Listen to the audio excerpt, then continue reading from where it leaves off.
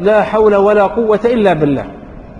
فإنك حينما تعيش كلمة لا حول ولا قوة إلا بالله وتكررها لأنه سبق معنا يحمل بها الأثقال وتفتح بها الأقفال وتصعد بها الجبال ويرضى بها ذو الجلال وتصلح البال وتحسن الحال.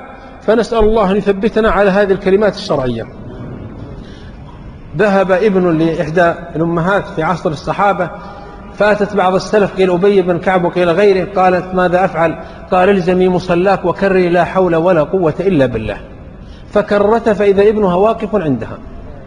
ولذلك أوصى صلى الله عليه وسلم أبا ذر عند الطبراني وعند غيره وابن حبان. قال وأكثر من لا حول ولا قوة إلا بالله.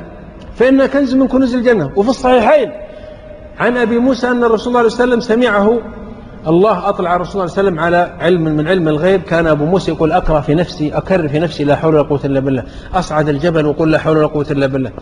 قال يا عبد الله بن قيس ألا أدلك على كنز من كنوز الجنة؟ قلت بلى يا رسول الله. قال لا حول ولا قوة إلا بالله.